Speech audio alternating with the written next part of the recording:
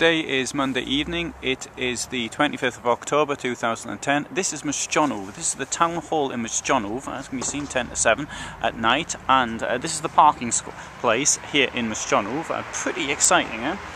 And um, don't really know what to say about this place, but there we have uh, Las Vegas, knowing that I am a Get Carter fan, and uh, obviously Get uh, Carter was staying in Las Vegas and Gateshead, and uh, this is Las Vegas and Mszczonów uh, should anybody uh, want to see. And it's open for 24 hours, which uh, could be useful because it's the only thing that I've actually seen here so far, which seems to be a pretty dead place to me in general.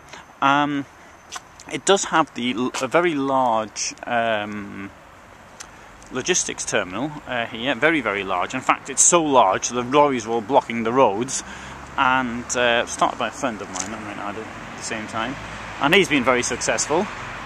And here am I, waiting for something to turn up, this time in Mszczonów, and uh, that's it really. I've also noticed the cars around here have got Żyrardów number plates on them.